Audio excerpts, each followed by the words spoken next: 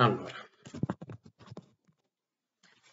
continuiamo con queste study all time ripetizioni di Otorino e cominciamo a fare la vertigine eh, dal punto di vista dell'impatto strumentale e non solo, diagnostico, patologico. Allora, quando noi parliamo di vertigine, parliamo di una condizione di eh, oscillazione del paziente, sbandamento ed è necessaria anche la rotazione angolare. Ok? È un disturbo quindi dell'equilibrio, è un disturbo a carico del sistema vestibolare. Ok? Dunque, siccome il sistema vestibolare, come avevamo detto, è costituito da diverse strutture importanti, la vista, l'udito, l'olfatto, neanche, l'olfatto neanche, scusate, la vista, l'udito, il tatto, eh, la propiocezione, diciamo che un danno di questo sistema si può manifestare in diversi livelli, quindi è anche difficile cercare di comprendere le vertigini come qualcosa di esclusivo a livello vestibolare, se non per il fatto che le vertigini di natura vestibolare hanno un'intensità maggiore e poi l'apparato vestibolare si distingue dagli altri apparati perché ha una unica funzione, gli altri apparati non hanno solo la funzione dell'equilibrio. Per cui da questo punto di vista è molto importante eh, durante quindi la vertigine, durante una lesione acuta unilaterale, ci sono gli stessi fenomeni che un soggetto fa durante una rotazione sul piano orizzontale. Per questo è importante il discorso della rotazione, perché ci colleghiamo al senso di rotazione, al movimento degli occhi compensatorio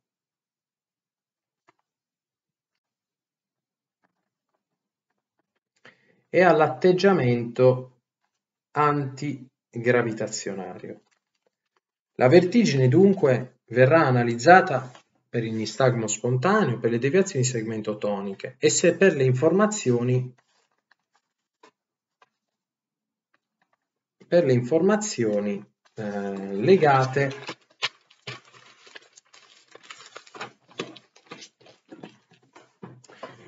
alla posizione del capo e dei suoi movimenti.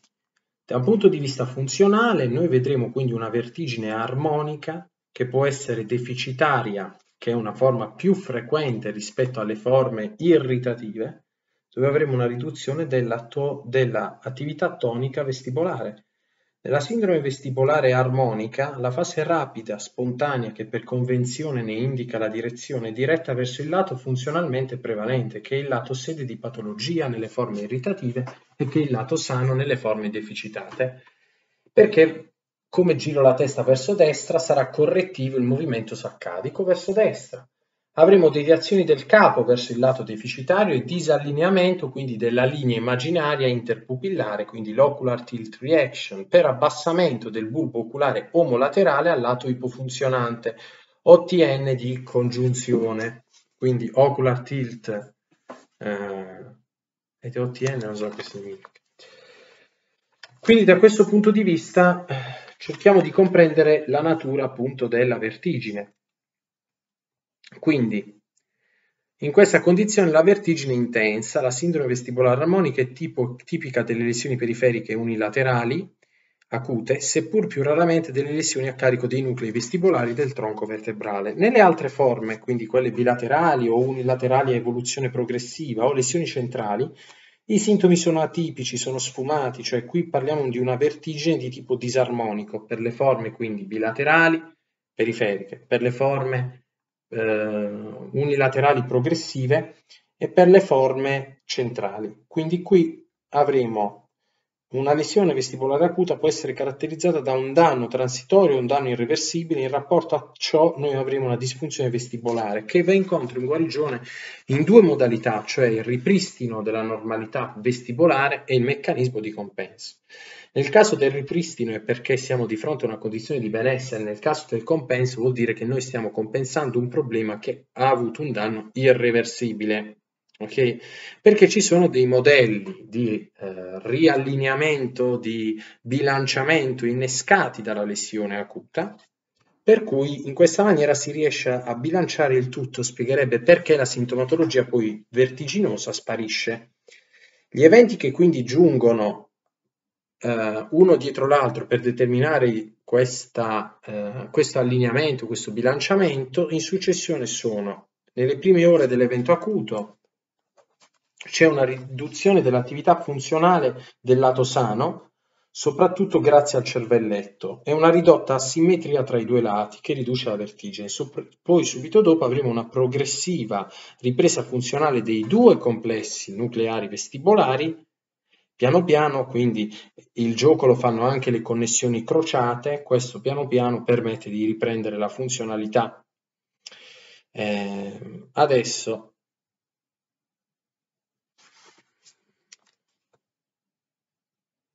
Nel caso in cui la lesione invece sia bilaterale o unilaterale evoluzione progressiva, quindi molto atipica, i disturbi non hanno caratteristiche di violenza e acutezza caratterizzate nelle forme periferiche unilaterali acute. Nel deficit bilaterale non si manifesta la simmetria funzionale. La sintomatologia vertiginosa è conseguente alla mancanza totale dell'input vestibolare, riconducibile principalmente alla mancanza di movimenti rapidi del capo, quindi i sintomi principali sono le oscillopsie, cioè la difficoltà a mantenere la visione distinta eh, in, a seguito di movimenti veloci del capo e durante la marcia. In caso di lesione unilaterale lentamente evolutiva, il progressivo deficit della lesione si accompagna parallelamente alla compensazione, quindi questo spiega perché è un po' sfumata la sintomatologia. Quindi con questo cerchiamo di capire un attimo le vertigini e cerchiamo di inquadrare le vertigini come vertigini armoniche e disarmoniche. Le armoniche poi si suddividono in condizioni irritative o deficitarie, le disarmoniche sono condizioni o bilaterali o unilaterali progressive oppure condizioni del sistema nervoso centrale e sono di solito atipiche come condizioni. Le forme armoniche di solito noi cerchiamo il nistagmo, cerchiamo la relazione del, del come si dice,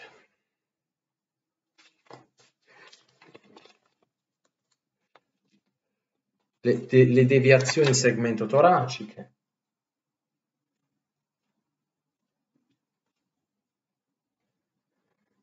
Ok, in funzione poi delle tipologie di vertigini, noi secondo la Barani Society abbiamo le vertigini interne, le dizziness, le vertigini vestibolo-visive, le vertigini posturali, quindi ne abbiamo diverse. Quella interna dove tu stai fermo e la sensazione di sbilanciamento, le dizziness, che sono una sensazione alterata durante il movimento. Eh, invece la vertigine interna è una sensazione alterata anche in assenza di movimento. Invece la vestibolo visiva è una problematica di inclinazione, di inseguimento durante il movimento degli occhi poi c'è la condizione posturale.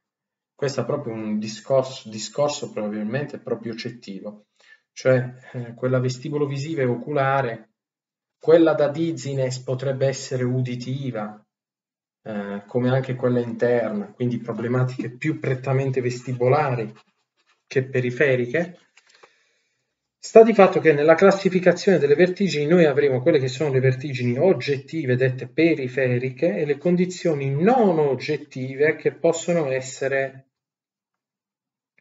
perché intendiamo per oggettive le condizioni periferiche unilaterali, le non oggettive diciamo sono quelle disarmoniche. Ok, ok, allora.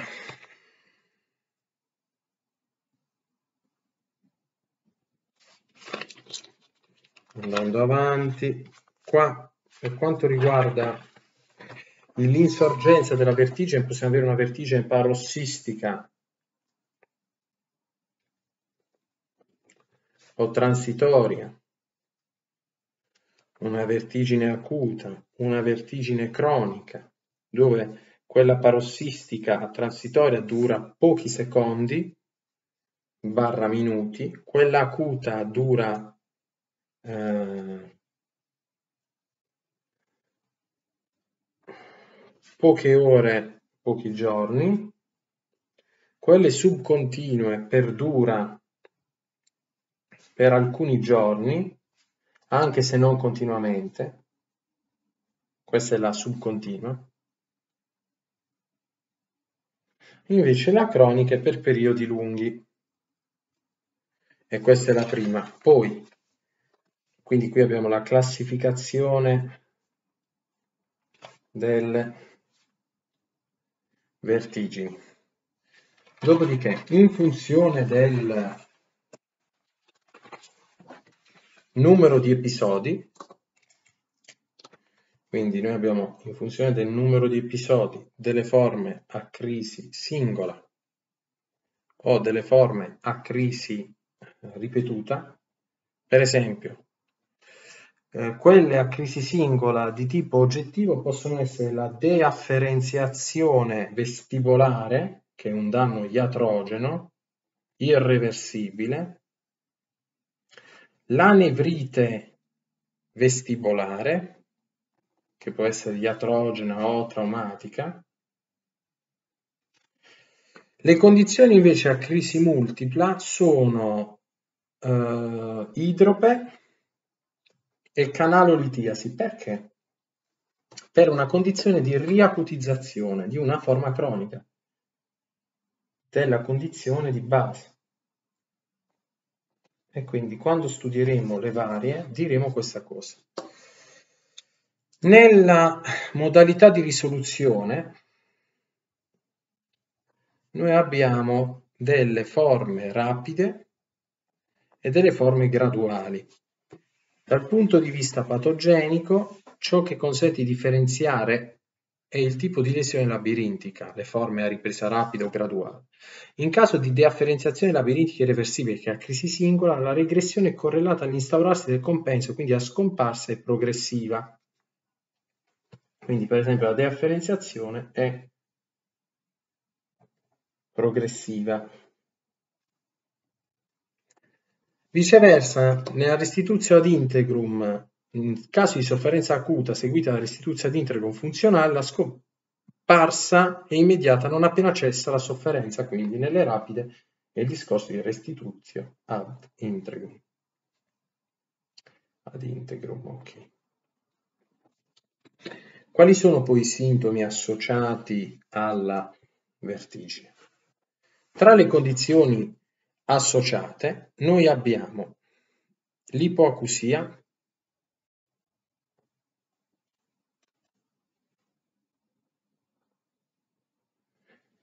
che può essere legata a un danno labirintico o retrolabirintico per la vicinanza tra l'acustico e gli organi vestibolari, nelle forme centrali invece per le lesioni del tronco cerebrale che interessano i nuclei vestibolari, quindi avremo ipoacusia per lesione ai nuclei vestibolari del tronco encefalico oppure per contiguità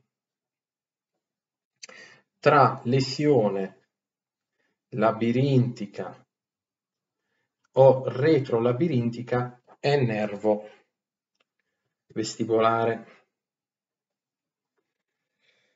Poi altri sintomi, la presbiacusia, poi acufeni,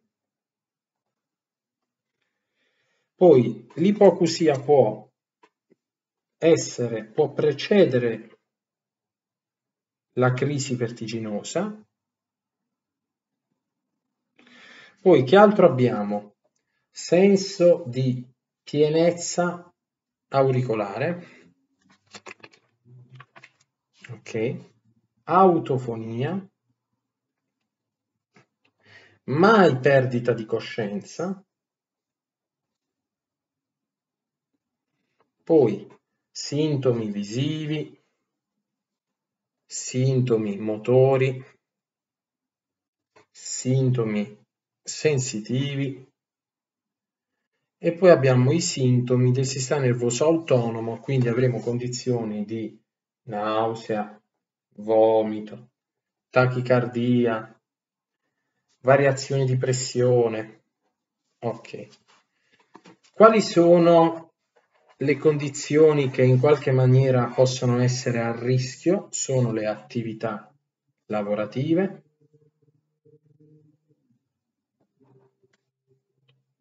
poi i farmaci, le infezioni, i barotraumi o interventi chirurgici,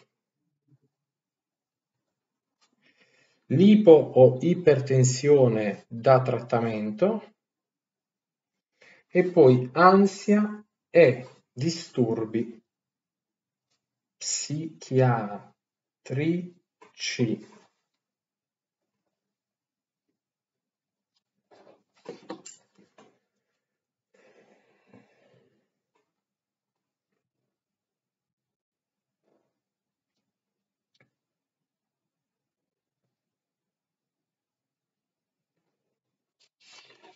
Quindi nell'introdurre le vertigini ci siamo, un'idea generica, ce la dobbiamo fare, ce la siamo fatta.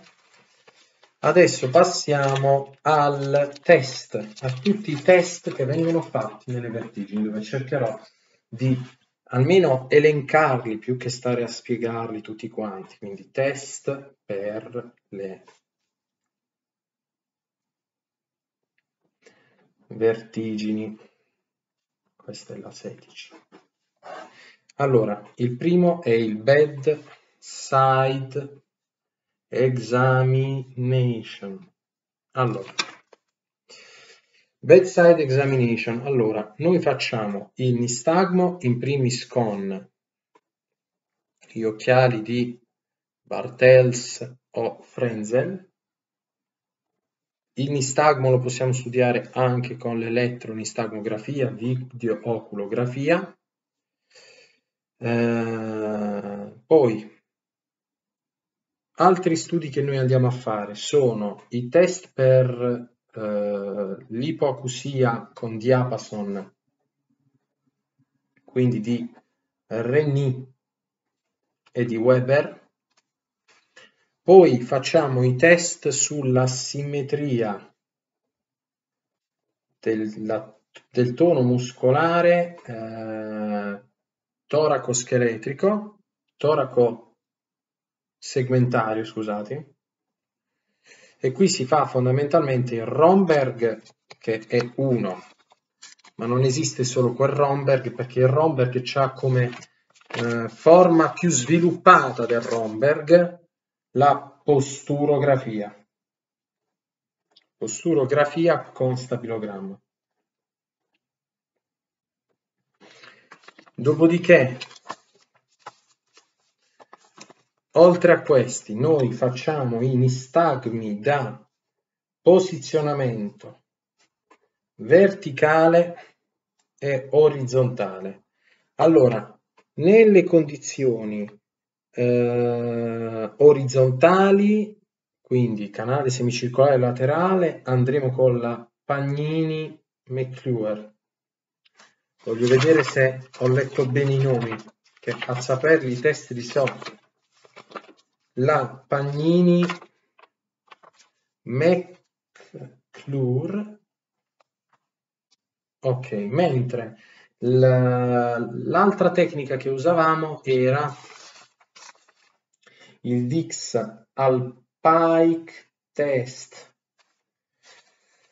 Un'altra metodica che viene solo citata dal professore è la eh, CAT-ZARCAS, CAT-ZARCAS, che è un istagmo parossistico posizionale torsionale verticale in basso da interessamento del canale semicircolare posteriore, quindi questo del canale semicircolare laterale, questo per il canale semicircolare posteriore, CAT-ZARCAS per canale semicircolare anteriore o superiore. Ok. Quando noi non possiamo fare queste tecniche, abbiamo per esempio LED pitch test, dove il paziente eh, fondamentalmente sta in piedi perché non può stare seduto. Quindi questa è un, una forma di evoluzione. Dopodiché abbiamo LED shaking test, poi abbiamo LED impulse test che si evolve in video head impulse test e SHIP che è il suppressive video head impulse test. E, ehm, dopo Vediamo che altro sta. Poi sta la School Vibration, che questa è la manovra vibratoria. Uh, la School Vibration Induced Nystagmus, che è detta anche mastoid, stessa cosa di prima. Poi abbiamo la, la prova di iperventilazione, continuando abbiamo la prova di iperventilazione, dopodiché c'è la prova calorimetrica e poi abbiamo la simultanea ICE test Poi abbiamo l'ocular tilt reaction, dove noi andiamo a vedere appunto quell'anomalia nei bulbi e tutto, dove riposizioni poi la testa del paziente.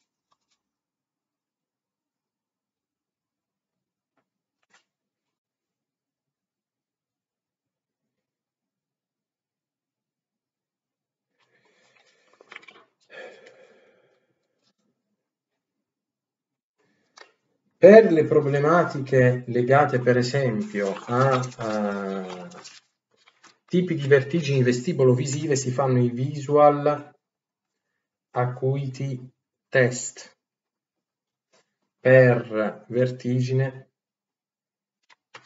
vestibolo-visiva.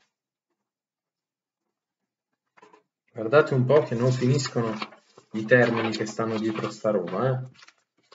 Dopodiché prove termiche, prove ad impulso rotatorio, quindi eh, le prove roto-acceleratorie stanno insieme con eh, il video head impulsive test, quindi prove roto-acceleratorie.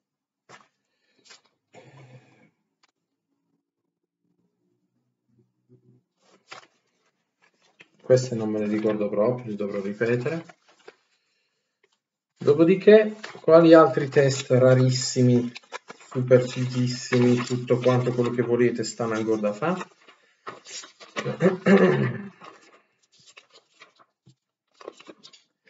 I visual vertical, visual vertical soggettiva. Dopodiché c'è altro, i potenziali evocativi.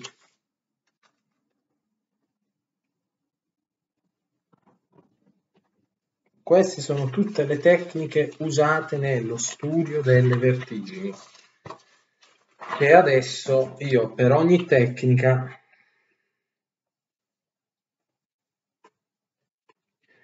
mi rimando direttamente al libro e alle sbobine perché altrimenti il cervello va in tilt a scrivere tutte queste cose.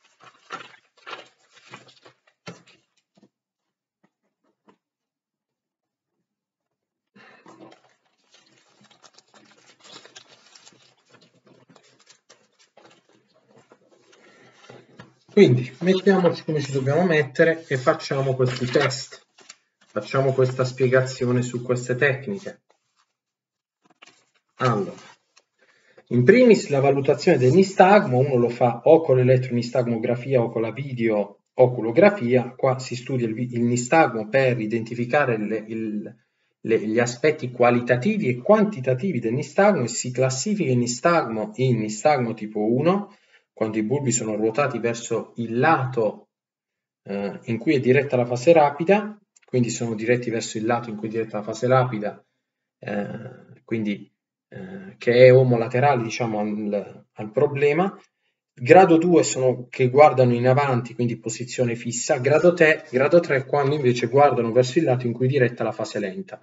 Quindi possono guardare o durante la fase eh, rapida e quindi sono condizionati oppure durante la fase lenta. Adesso, per quanto riguarda mh, mm, eh, la relazione con le asimmetrie segmento toraciche, qua si fa la prova di Romberg dove si mette il paziente su questa eh, ad occhi chiusi e si vede le oscillazioni che presenta, ovviamente eh, sono importanti le, le oscillazioni quelle indifferenti in avanti o indietro o non condizionate della vista sono un problema specifico del sistema nervoso centrale. Eh, si può fare o il test eretto, il paziente con le braccia lungo i fianchi, si vede un attimo ad occhi chiusi, eh, diciamo, tende a cedere verso il lato colpito, altrimenti è una forma centrale. Quindi io qui faccio già una diagnosi differenziale tra forme centrali e forme periferiche. Quindi per esempio un Romberg atipico, mentre qui abbiamo un Romberg tipico. Tornando un attimo, ok, ok, ok. Invece per le Dixal Pike, Dixal Pike è ehm, Dixal Pike per le manovre di Pagnini McClure o Cat Zarkas, queste sono specifiche per i canali semicircolari quindi nella Dixal Pike porti il paziente rapidamente dalla posizione seduta alla posizione supina con il capo iperesteso e ruotato verso il lato. Il paziente viene posto con le spalle allineate al margine del lettino, vabbè, insomma, questo dovrebbe stimolare il problema. È ruotato di 45 gradi, quindi il paziente sta così e passa subito dalla posizione supina alla posizione, sedu- alla posizione eh, da seduto a supino, scusatemi. Qualora non si riuscisse a registrare il nistagmo, il paziente viene tenuto con gli occhi aperti, la comparsa di nistagmo caratterizzato da latenza e esauribilità, accompagnato da vertigine oggettiva, è patognomonica di quella parossistica posizionale da canalolitiasi. Dopo un adeguato periodo di tempo, al fine di attendere le manifestazioni, il paziente viene riportato rapidamente in posizione seduta. Eh, qualora dovesse avere una vertigine prima, diciamo, ancora di eh,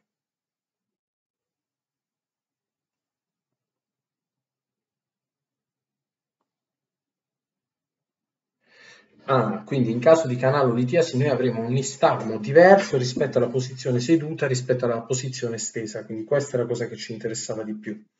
La Dixal Pike,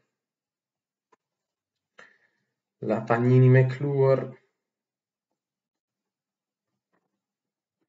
la Cat Zarkas sono tutte tipi di manovre periferiche se dovesse comparire vertigine soggettivo, disequilibrio senza nistagmo in ortostatismo, vuol dire che è una forma centrale, quindi ortostatica per una Dixal Pike atipica senza nistagmo. Ok. Per quanto riguarda invece eh, l'head shaking test, il capo del soggetto è flesso di 20 gradi e ruotato alternatamente a destra e sinistra uh, di 45 gradi per 20 volte in 10 secondi, gli occhi sono chiusi, indossano gli occhiali di Fresnel, poi dopodiché uh, si riaprono in caso di asimmetria funzionale si noteranno uh, delle condizioni di almeno tre scosse di nistagmo, perché si attiva il Velocity Storage Score che amplifica il meccanismo dei movimenti in poco tempo. Nelle lesioni bilaterali, per esempio, non si dovrebbe vedere nulla, Invece in una condizione di head shaking test eh, che guardo verso l'alto è una problematica che si sta nel nervoso centrale. Invece qui l'head shaking test deve avere tre scosse di nistagmo. Quindi sto cercando di fare le differenze. L'head impulse test invece, anche qui il paziente esegue passivamente, quindi non è il soggetto che gli fa fare questo, eh, cioè no, no, anche qui passivamente come prima per l'head shaking test, il paziente deve tenere fisso lo sguardo. Nel soggetto normale questo riflesso fa in modo che la mira sia presente. In caso di deficit periferico il paziente non riesce a mantenere lo sguardo fisso, per cui alla fine del movimento farà la saccade correttiva, che non consente di fissare nuovamente la mira di riferimento. La presenza di saccade correttiva è un problema del deficit vestibolare verso il lato il quale è stato eseguito il movimento. Vabbè.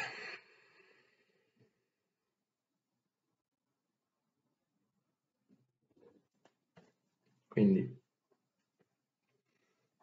Head Impulse Test, anche questo periferico, tra parentesi. Ah, ecco un altro sintomo che non avevo messo, la sudorazione fredda. La sudorazione fredda.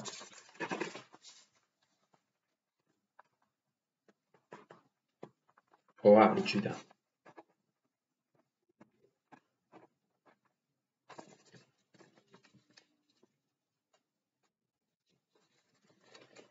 Eh, ok.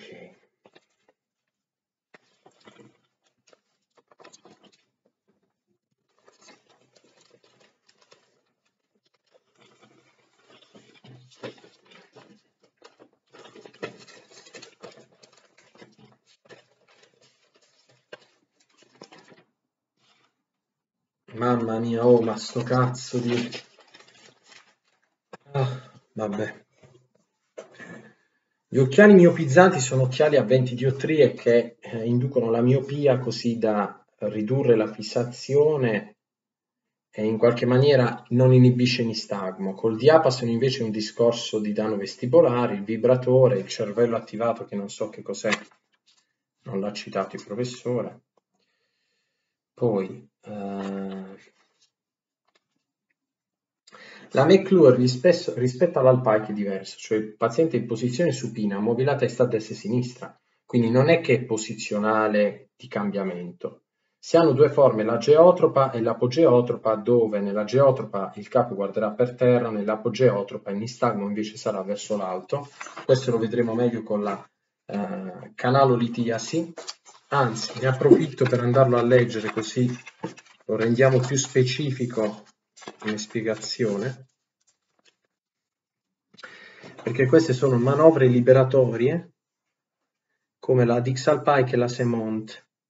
Allora, uh, questa è la Dixalpike 6 e la Panini McClure invece è supino, viene fatto ruotare la testa da una, da una parte all'altra, in presenza di canale litiasi la manovra evoca bilateralmente, anche se con intensità differente, una vertigine oggettiva parossistica con istagmo orizzontale che può avere una direzione geotropa o apogeotropa. Quindi anche qui la Panini McClure, che è appunto quella fatta sul canale semicircolare laterale. Il lato sede della malattia è quello in cui l'istagmo è più intenso nella forma geotropa, invece è quello meno intenso nella forma apogeotropa, quindi questa è una cosa non importante, importantissima che io mi ero perso.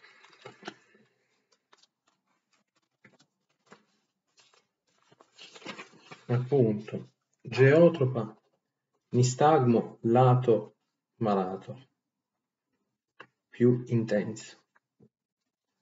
Invece nella geotropa nell'apogeotropa il nistagmo nel lato malato è meno intenso perché noi induciamo un nistagmo bilaterale. Ok bene. Quindi anche questa l'abbiamo fatta LED Impulse Test abbiamo anche spiegato anche questo per le problematiche che ha. Prima di passare a quelle che sono delle tecniche strumentali, spieghiamo la vibrazione, questo è il discorso proprio di una stimolazione che ha una buonissima sensibilità, eh, che però qui comunque è stata spiegata come al cavolo, cioè metti questo strumento di vibrazione mandibolare, mastoidea, in caso di asimmetria si avrà nistagmo orizzontale persistente e ripetibile nei confronti dovrebbe essere del lato sano.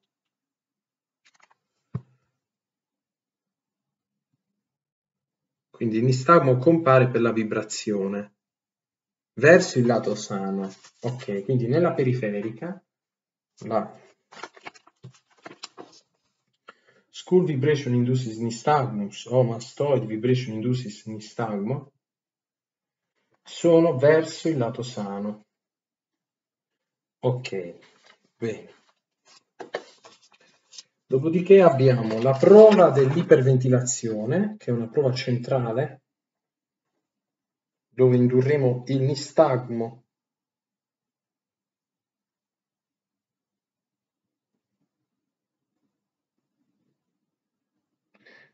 e verso il lato malato. Ah, allora, quando ho spiegato il neurinoma, tra le condizioni di ipoacusia centrale, nistagmo lato malato. Negli appunti dove parlo del neurinoma,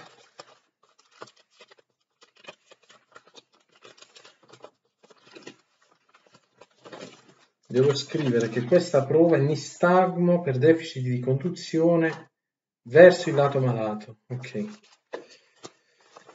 Bene, tornando a noi, quindi abbiamo fatto anche quella da iperventilazione, dopodiché delle altre prove noi abbiamo la prova calorimetrica, dove si stimola principalmente il canale semicircolare laterale con la calorimetrica,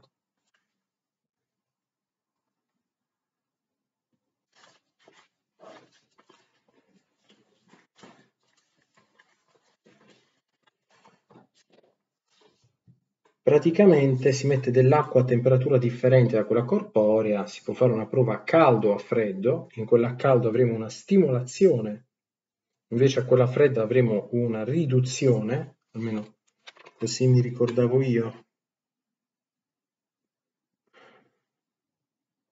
Per le correnti endolinfatiche, ora vedo un attimo di capire questa cosa, il caldo appunto era eccitatorio, lo stimolo freddo invece era una flessione utriculifuga, quindi inibitorio, appunto.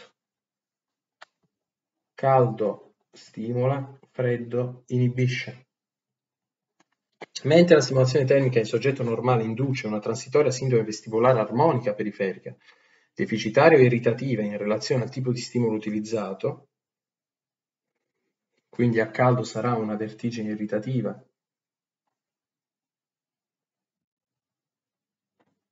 a freddo una vertigine deficitaria, il soggetto durante la prova cosa, cosa fa? Uh, posiziona è posto in posizione supina con capo flesso a 30 gradi, seduto poi con capo esteso a 60 gradi, quindi da flesso ad esteso Subito dopo si fa nel corso del test l'osservazione o con gli occhiali o con l'elettrooculografia o elettronistagmografia, si valutano i potenziali quantitativi, quindi latenza, durata, frequenza, ampiezza, velocità della fase lenta. Scriviamo tutte queste cose.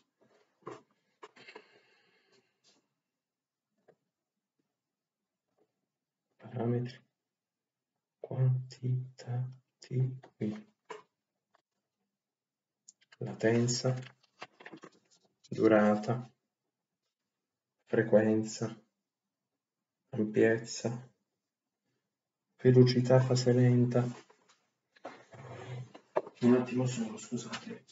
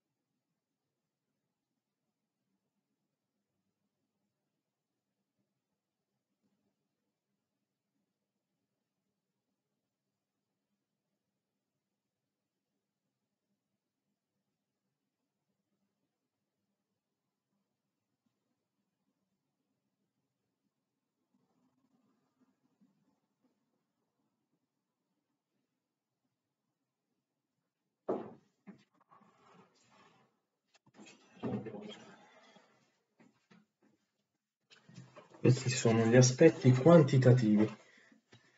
Invece quello che ci interessa valutare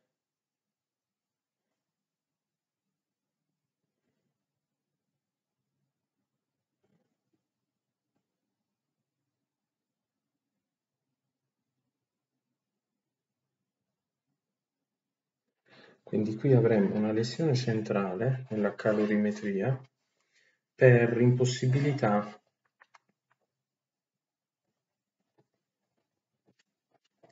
a tenere la mira.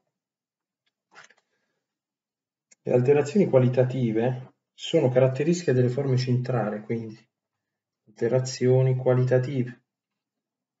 Quindi movimento coniugato degli occhi, poi la forma, la direzione, il ritmo del nistagmo, tutte queste cose. L'esito quantitativo delle prove termiche è riassunto quindi in queste possibilità. Nella forma normale non esiste asimmetria o direzione del nistagmo, l'intensità è evocata e nei limiti della norma.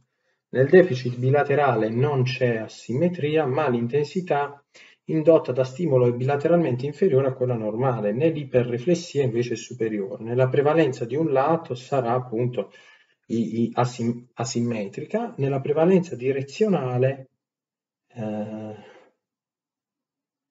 sarà a carico del sistema nervoso centrale quando avremo direzione verso l'alto del nistagmo. Ok. Dopodiché abbiamo il e questo è finito il video head impulsive test dove? Nel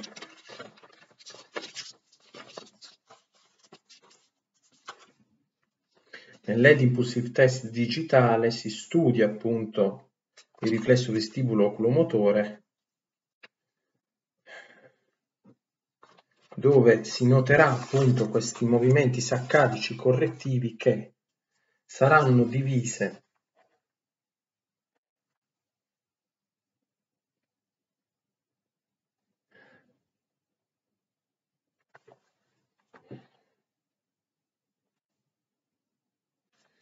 appunto video ed impulsive test questo avrà delle saccadi che saranno, di, saranno, dedicati, saranno di tipo overt, quindi alla fine, e questa è una cosa che si studia con il suppressive nystagmus test, it suppressed ed impulsive test. Invece avremo delle sacche di covert durante la prova, in questo caso si vede col video ed impulsive test. Le saccati overt hanno un significato eh, come dire, di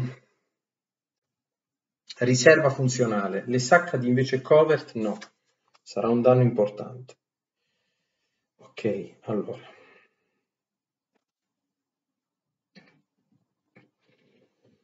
Quindi così si studiano i canali semicircolari laterali. Ok.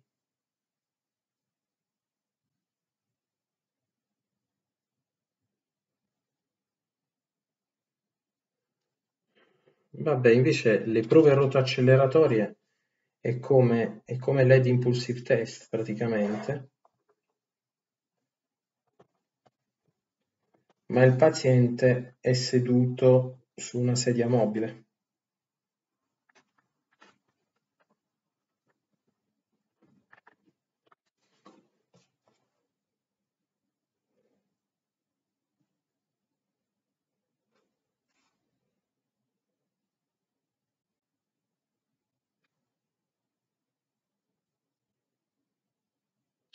Da qui si valuterà un guadagno bilaterale nella norma, un deficit bilaterale, un'iperriflessia bilaterale, una prevalenza di lato, alterazioni morfologiche tipiche delle lesioni centrali, quindi qui alterazioni qualitative. Ok. Ma la stanchezza che ho addosso, ragazzi, mamma mia. Oh, mio Dio. La posturografia è come il Romberg, identico, si studia il baricentro. Ehm...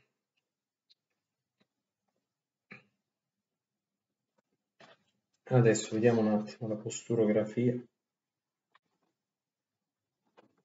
dove c'è questo stabilogramma che misura le variazioni del baricentro che ad occhi chiusi con un peggioramento ad occhi chiusi è riconducibile a una sofferenza periferica non compensata, quindi sofferenza periferica non compensata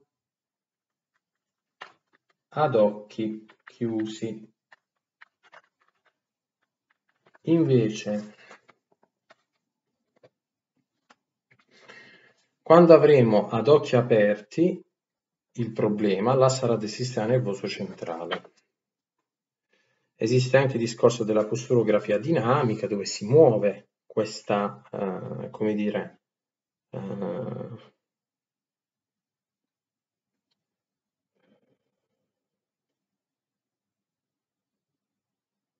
questa pedana, che non mi veniva il termine mi sto esaurendo. Poi i potenziali vocativi diciamo dopo, lo studio della verticalità soggettiva in realtà è,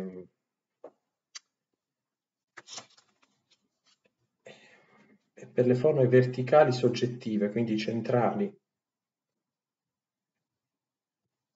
quindi che si fa con il telefonino, mettendolo al centro del secchio internamente. eh, una riga, allineando questa riga con il telefono esternamente, vabbè, ruotando questo secchio potremo vedere la variazione angolare dell'orientamento del paziente, vabbè.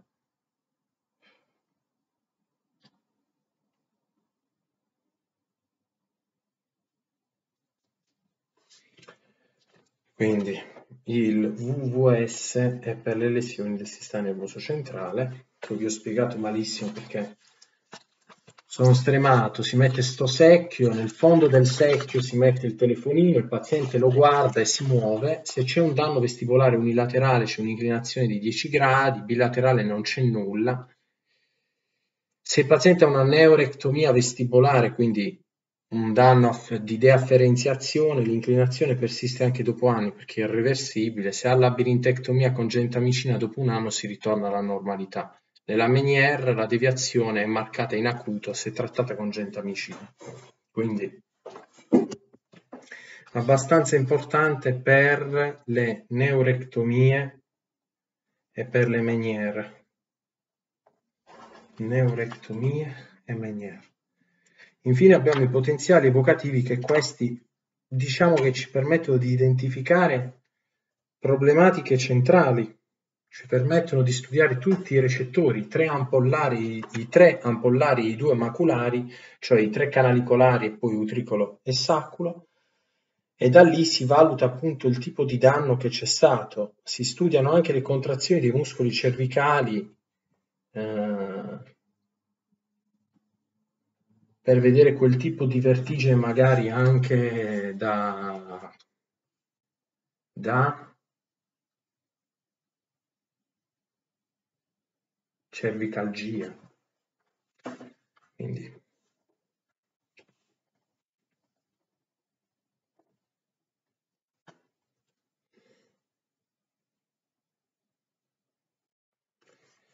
Abbiamo chiuso con tutti questi argomenti, basta, sono stancato.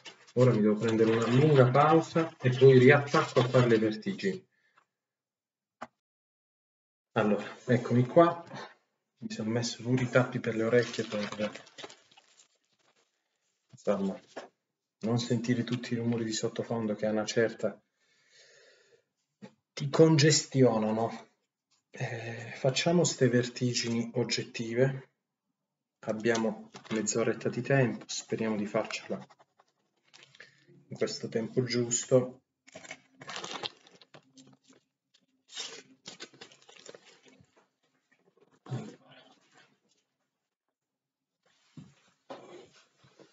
Allora, tra le condizioni delle... Boh, non so se queste trascriverle perché sono scritte proprio bene.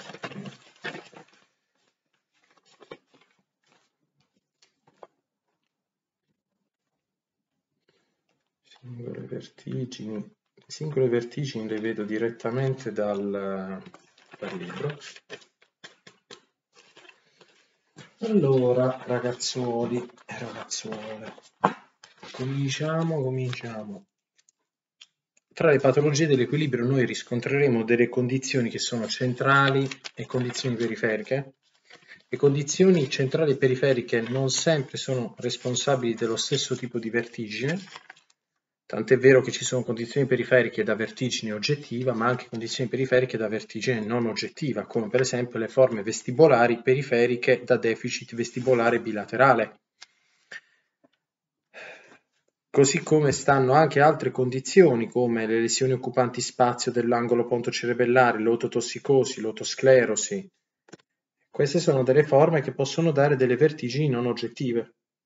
Poi stanno le forme extravestibolari croniche, la presbistasia e presbiastasia, e le vertigini parossistiche infantili, poi stanno una serie di vertigini di ogni tipo che non tratterò perché non sono in esame, ve le ho già spiegate Magari farò una video lezione dopo l'esame sperando di averlo passato, ma ho già comunque registrato queste forme, quindi avrete le spiegazioni. Noi oggi ci concentriamo sulle vertigini che sono puramente di interesse otorino-laringoiatrico, principalmente audiologico. Allora, abbiamo le vertigini che sono caratterizzate da una crisi singola, queste dovevano essere la nevrite vestibolare, labirintopatia traumatica, labirintite, labirintopatia iatrogena, poi sono quelle a crisi ripetute, la malattia di Meniere, la sindrome di Minor, la canalolitiasi, non si chiama più cupulolitiasi, la fistola perilinfatica e labirintica. Allora, cominciando, cominciando, perché altrimenti non ce la Labirintopatie traumatiche. Allora, no, scusate, nevrite vestibolare. la nevrite vestibolare è una condizione in cui noi abbiamo un deficit vestibolare acuto, è una condizione con crisi vertiginosa eh, singola che dura, in, che esordisce in modo improvviso e spontaneo, persiste per oltre 24 ore e si associa poi a determinati sintomi che vedremo. Allora, in primis eh, questa condizione a livello di patogenesi riscontra una maggior parte di casi come forme idiopatiche, poi si pensa che siano condizioni virali legate a flogosi delle alte vie aeree, a un herpes riattivato da un deficit immunitario. C'è un'altra ipotesi di natura vascolare tromboembolica, dove venendo colpita l'arteria uditiva interna si ha anche un, un difetto eh, con sordità improvvisa, come nel caso delle vertigini associate a neurinomi del settimo nervo, del facciale. Poi abbiamo, ah no scusatemi, dell'ottavo nervo, eh, l'acustico. Poi ci sono vertigini di questo tipo che hanno una modifica repentina unilaterale, eh, nella maggior parte dei casi sono di tipo deficitario, quindi parleremo di vere e proprie paralisi secondo alcuni autori, che vanno incontro a restituzione ad integrum nel giro di alcune settimane o mesi, oppure, se il danno rimane in modo irreversibile, compenso vestibolare. A livello anatomopatologico si possono riscontrare o condizioni di ischemia per una tromboembolia o condizioni di labirintite batterica virale, quindi per quel caso che ci sia una flogosi. Per la sintomatologia è una vertigine intensa, è una vertigine acuta, è una vertigine che compare all'improvviso, il, il, paziente è costretto a stare a letto dal lato sano, è una vertigine che dura 24-48 ore, eh, è una vertigine che eh, va incontro a restituzione ad integron dopo tantissimo tempo e raramente, raramente ci sono delle condizioni di eh, nevrite vestibolare recidivante eh, e qui infatti si, chiamerà, si parlerà di nevrite ricorrente benigna, così come ci sono, secondo alcune esperienze cliniche condizioni di vertigine parossistica associata a questa vertigine oggettiva, quindi una vertigine soggettiva è quella parossistica, la cosiddetta sindrome di Lindsay-Hemingway. All'esame obiettivo sarà evidente il nistagmo, nelle fasi successive si possono evidenziare solo alterazioni del tono posturale, quindi vuol dire che il nistagmo dopo un po' uh, si normalizzerà. A livello audiometrico vedremo uh, nel caso di una nevrite dell'ottavo nervo, quindi con un danno da sordità improvvisa, avremo questo stato di anacusia che tende a colpire le basse frequenze. Poi abbiamo le prove vestibolari. Con le prove termine, termiche o video head impulsive test, noi riusciamo a identificare la presenza della lesione, l'entità della lesione unilaterale. Col video head impulsive test si cerca anche di identificare quale canale semicircolare o quanti, nel caso sia più di uno, eh, siano interessati Infatti noi potremmo avere una condizione di nevrite vestibolare superiore o inferiore in funzione del danno del nervo vestibolare superiore o inferiore, dove quello superiore è caratterizzato dall'innervazione di quello che è l'utrico, il canale semicircolare eh, superiore, detto anche anteriore e laterale, mentre quello posteriore insieme alla macula è innervato dal nervo vestibolare inferiore. Ci possono essere quindi questo tipo di condizioni, le prove rotoacceleratorie, quindi quelle sulla sedia che si muove, ci permettono di identificare anche qui il il deficit, un deficit che poi per il meccanismo di compenso, quando irreversibile appunto, dopo un po' si normalizzerà. Anche la posturografia tenderà a eh, normalizzarsi anche se in realtà si potranno evidenziare nelle fasi successive della malattia, come ho detto anche all'esame obiettivo, alterazioni del tono posturale. Gli esami radiologici sono importanti per escludere le condizioni di patologie che invadono l'angolo ponto-cerebellare. Per la terapia ci sono per quei sintomi neurovegetativi, quindi una terapia sintomatica con vestiboloplegici come le feniotiazine, si può ricorrere anche all'uso di cortisone nella fase acuta per evitare il rischio di persistenza del deficit il compenso vestibolare può essere coadiuvato dalla beta-estina, dal piracetam o da sostanze neurotropiche. Nel caso in cui il compenso non riesca a manifestarsi spontaneamente, si deve fare una terapia riabilitativa. Quindi, per la terapia che lo ripetiamo, le fenutiazine sono vestiboloplegici, il cortisone nella forma acuta per evitare la persistenza della patologia, la beta-estina, il piracetam e sostanze neurotrofiche per stimolare il compenso, che se non dovesse venire si fa la riabilitazione vestibolare. Dopodiché abbiamo la labirintopatia traumatica che io posso tranquillamente bypassare, poi abbiamo la labirintite che in realtà è una delle complicanze delle otiti medie, è una complicanza abbastanza rara perché significa che c'è stato un danno che ha portato a contatto l'orecchio medio con l'orecchio interno, dando questa infiammazione dell'orecchio interno. Per esempio, una forma di otite media cronica colesteatomatosa può determinare questo e sopraggiunge questa vertigine. Una vertigine che in teoria, diciamo, potrebbe anche portare a una successiva complicanza meningea o batteriemica per la diffusione rispettivamente con il liquor e con il sangue. La sintomatologia sarà una vertigine associata appunto acuta come nella nevrite vestibolare. Eh, in, caso di sofferenza cocleare in presenza di otite cronica si, si aggraverà il preesistente deficit uditivo. Quindi diciamo che non aiuta. All'otoscopia si vede la flogus chiaramente della colesteatomatosa, quindi si vedranno, eh, si vedrà l'esudazione, si, vedrà, eh, si, si vedranno le croste di epitelizzazione, si vedrà la perforazione timpanica, si vedranno queste lesioni, si vedrà l'infiammazione. Eh, all'audiometria il deficit quindi sarà misto sia neurosensoriale che trasmissivo che evolve in anacusia, Infatti questi pazienti rischiano di avere crisi vestibolari se si dovesse introdurre dell'acqua. Le prove termiche infatti non si possono fare con la presenza di flogosi. Le prove rotoacceleratorie identificano il danno, però per meccanismi di compenso tendono a normalizzarsi. L'esame invece posturografico, anche qui si normalizzerà con l'andamento della patologia. Gli esami radiologici servono per identificare eventualmente la presenza, se c'è stata una complicanza come una fistola labirintica, se c'è stata quindi un, un danno di una osteite capsulare labirintica, se c'è stata un'infiammazione eh, esterna, quindi all'osso temporale, insomma, è utile da questo punto di vista. La terapia antibiotica è molto importante, i vestiboloplegici come la feniotiazina è importantissima, la timpanoplastica o meringoplastica eh, per le condizioni legate all'ostei, al, all'otite media con l'esteatomatosa.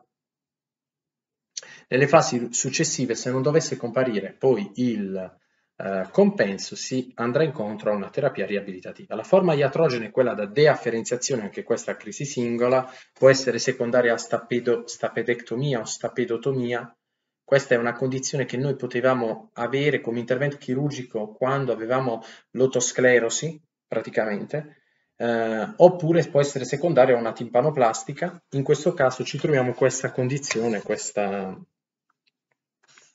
questa problematica. Eh, ci sono anche condizioni magari come neurectomie, labirintectomie che possono determinare questo danno. A livello sintomatologico eh, sarà una vertigine oggettiva, sarà una vertigine intensa, si potrebbe manifestare al risveglio post-operatorio o durante l'operazione o a un mese dall'operazione. Dopodiché parliamo della patologia di Meniere. Questa eh, è una idrope endolinfatica, è una condizione responsabile di una triade, cioè un'ipoacusia neurosensoriale fluttuante associato a vertigine non oggettiva, scusatemi, oggettiva e acufeni, è una condizione abbastanza infrequente nell'età giovanile, tranne per quelle che sono forme autoimmuni a trasmissione ereditaria, perché di solito è una condizione che colpisce pazienti sopra i 45 anni. A livello anatomopatologico c'è questa idrope che chiaramente sarà responsabile di un danno compressivo del, delle membrane, del labirinto membranoso. Ma questo perché? Tra le, le, ipotesi si pensa a un'ipotesi di patogenesi, perché la maggior parte delle volte è idiopatica, che sia o di natura post-traumatica o iatrogena, o per una disseminazione, eh, per una, scusatemi, disembriogenizzazione, quindi un problema di organificazione durante la crescita del bambino. La vertigine può essere, nei casi in cui ci sia una problematica eh, di questo genere potrebbe essere eh, bilaterale nelle forme congenite. È sporadica, è ritardata se compare in seguito a un deficit uditivo non su base idropica, è familiare, associata a emicrania a patologie autoimmuni. Tra i fattori favorenti ci sono fattori che ostruiscono il dotto endolinfatico, quindi quel dotto che sarebbe l'acquedotto di Sili, l'acquedotto che collega la perilinfa con eh, la No, un attimo perché mo sono andato in confusione.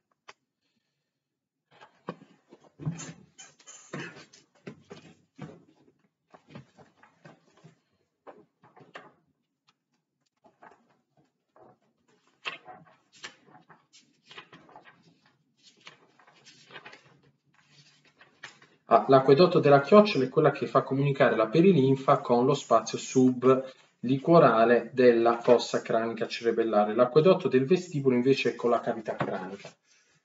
Voglio dire che un'ostruzione del dotto endolinfatico, una disfunzione del sacco endolinfatico perché è poco pneumatizzata a rocca petrosa, perché c'è una condizione di sacco piccolo, fibrotico, può peggiorare questa condizione.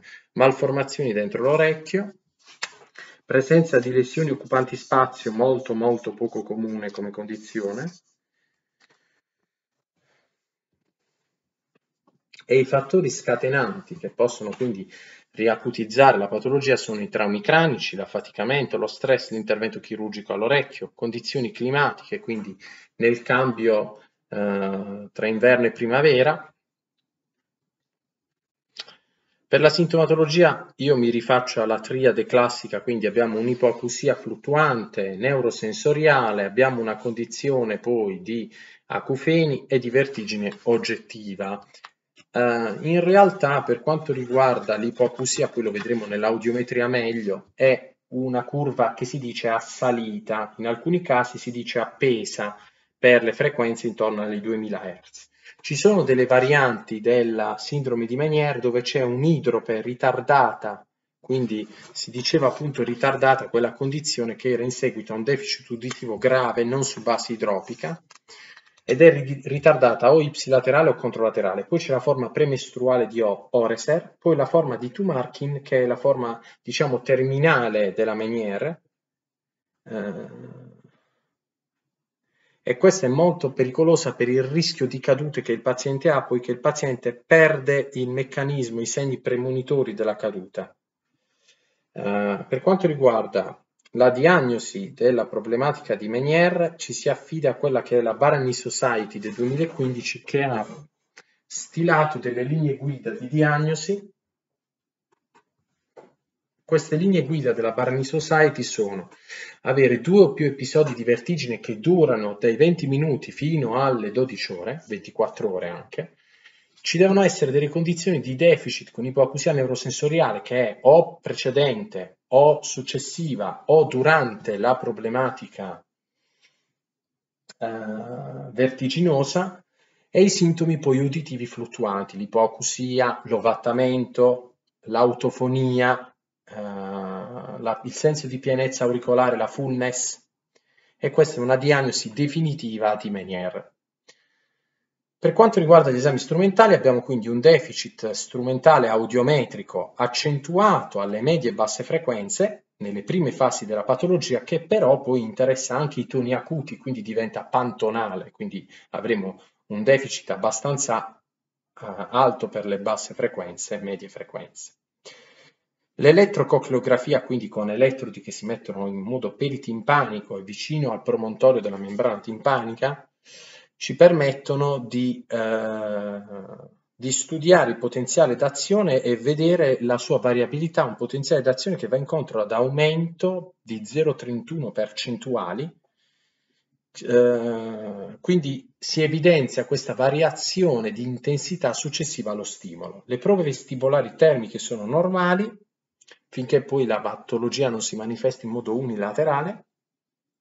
A livello radiologico si escludono le condizioni di malattie occupanti spazio con eh, risonanze magnetiche con 3 Tesla, quindi abbastanza potenti, si riesce a identificare eh, l'anomalia la, de, del liquido perilinfatico.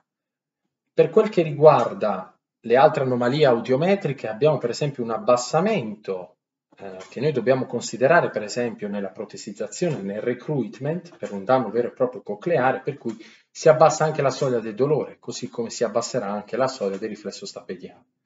A livello terapeutico possiamo avere quindi dei vestibolo-plegici tra cui maggiormente le feniotiazine, poi eh, ci sarà una fase quindi uditiva vestibolare, poi c'è una fase, scusate, acuta vestibolare e si faranno i vestiboloplegici. Nella fase uditiva si rimanda al capitolo della sordità improvvisa, dove eh, diciamo mi sa che qui si va di glicerolo e glucocorticoidi. Per la fase invece intercritica si consiglia una dieta iposodica, diuretici per bocca per cicli prolungati, cicli di beta-estina che sono diciamo fondamentali per il meccanismo di compenso e terapia steroidea che qualche maniera dovrebbe controllare eh, maggiormente la vertigine rispetto al trattamento con gentamicina, tant'è vero che qui se fa il virtual visit uh, index score, dove vai a studiare la verticalità soggettiva, persiste per un anno quel trattamento con gentamicina. È chiaro che ci possono essere anche delle, dei, dei, modi per ripristinare la condizione attraverso una deafferenziazione vestibolare con labirintectomia chimica, con neurectomia vestibolare o labirintectomia chirurgica.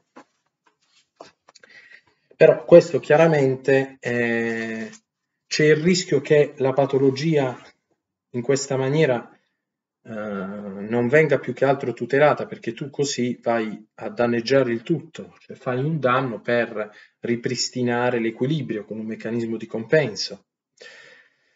Passiamo all'argomento successivo che sono le cupololitiasi, no, canalolitiasi. Prima si chiamavano cupololitiasi perché si pensava che fossero gli otoliti de depositati sul versante utricolare della cresta ampollare del canale semicircolare posteriore, mentre adesso si pensa che eh, essi siano nel versante canalicolare, per questo canalolitiasi, del canale semicircolante posteriore. Questi otoliti sono porzioni di carbonato di calcio che sono responsabili con il loro movimento dello stiramento della cresta ampollare che stimola le cellule ciliate a mandare il segnale. Si è visto che questa è una patologia eh, rappresentata da una vertigine ricorrente, anche questa è una vertigine mh, mm, con un'insorgenza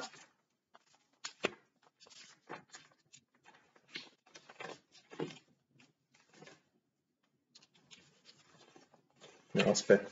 Questa fa parte di quelle con crisi multipla, che presenta una certa esauribilità rispetto al movimento, eh, ha un istagmo la cui direzione è correlata al canale semicircolare che è stato danneggiato, eh, c'è una possibilità di recidiva molto alta per la canalolitiasi, a livello eziologico si pensa sia una condizione idiopatica, alle volte si pensa a una problematica di distacco di otoliti per trauma, o in soggetti affetti da emicrania, da Meniere o per interventi chirurgici o per una nevrite vestibolare responsabile di una forma poi parossistica, la sindrome di Lindsay-Hemingway.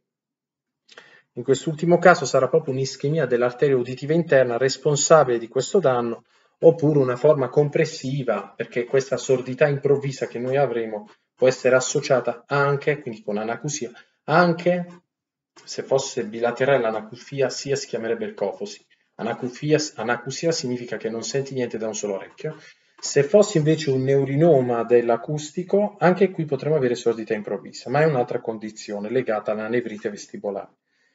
Quindi questo è un deficit in sé, c'è la possibilità di recidiva e si è visto in questi pazienti alti livelli di anticorpi antitiroide, eh, condizioni di ipocalcemia e ipovitaminosi D, quindi condizioni che riducono il calcio.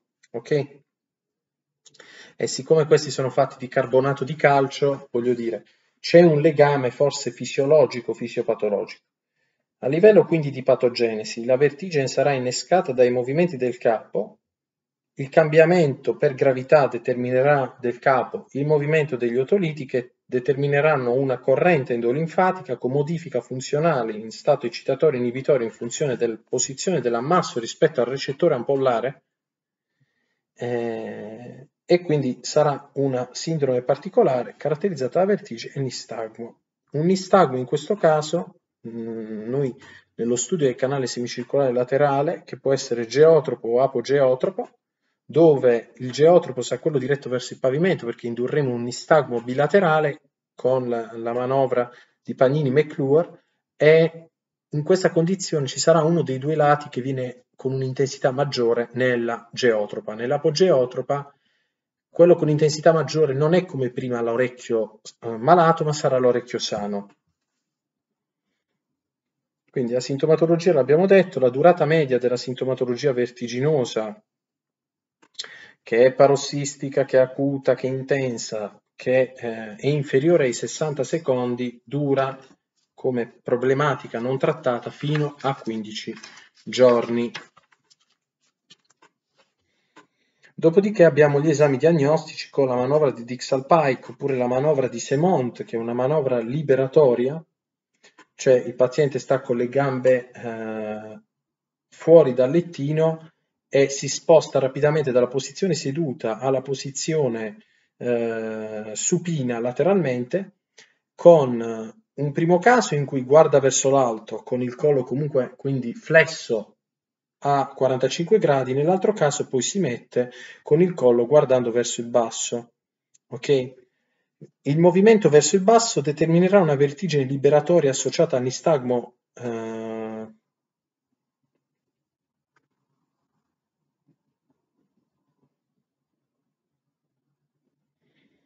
apogeotropo, vabbè.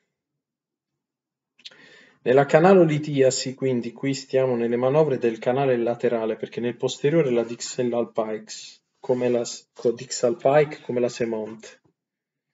Nel posteriore ci sono invece le manovre di Pagnini McClure. Uh,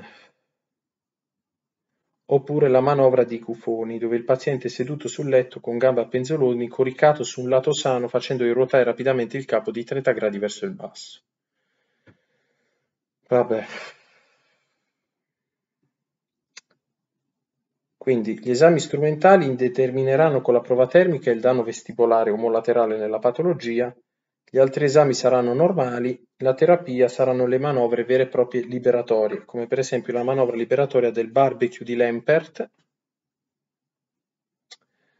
La prognosi diciamo che c'è una guarigione dell'80-100% dei casi, anche se talvolta devono essere ripetute queste manovre liberatorie più volte. Ok? Dopodiché abbiamo la fistola perilinfatica, quindi una lesione a carico della, mem della, uh, della, membrana della fossa ovale e della membrana timpanica secondaria della fossa rotonda.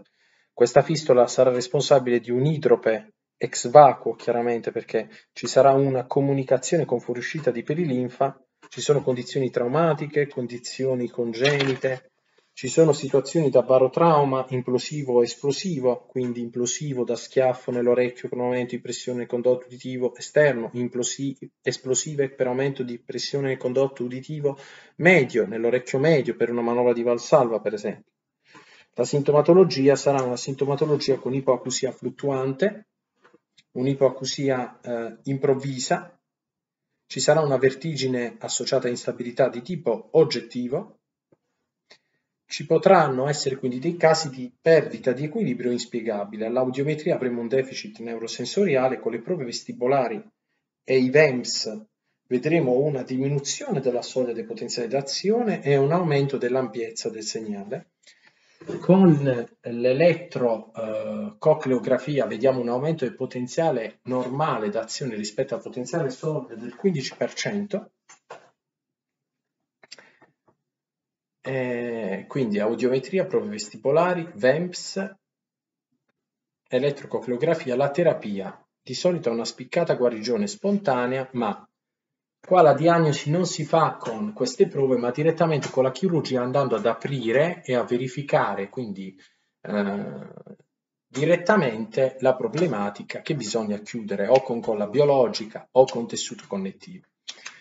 La fistola labirintica invece è diverso, cioè non parliamo di una condizione di fistola perilinfatica, che anche qui questa aumenta con il segno del, della fistola, nella fistola labirintica praticamente c'è una lesione da continuo a carico della capsula labirintica, quindi non a carico delle membrane della finestra ovale o rotonda, ma proprio della capsula. Eh, questa lesione di solito è secondaria come complicanza a un'otite cronica colesteatomatosa, di solito interessa più frequentemente o il promontorio, ma prima ancora il canale semicircolare laterale, poi c'è quello posteriore e superiore.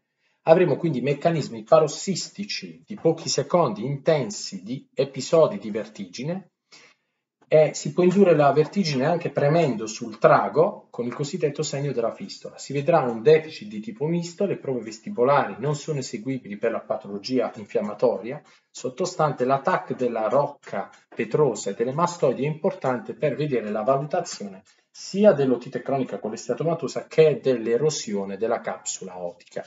La terapia sarà una timpanoplastica d'urgenza per ridurre la propagazione della flogosi.